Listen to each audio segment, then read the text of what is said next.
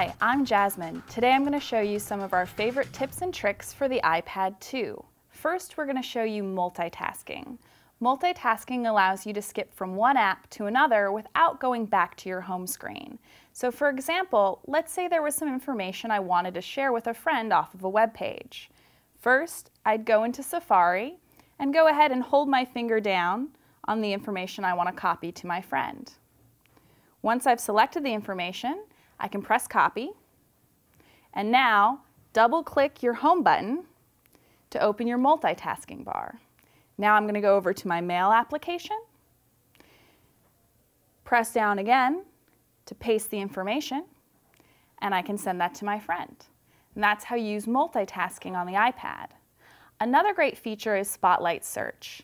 Spotlight Search allows you to launch any application you have on your iPad even if you're not sure which page you put it on.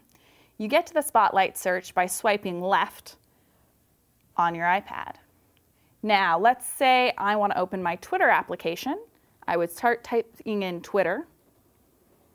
It's going to search my email, my web pages, and at the top is my Twitter application. That's how you launch an application from Spotlight Search.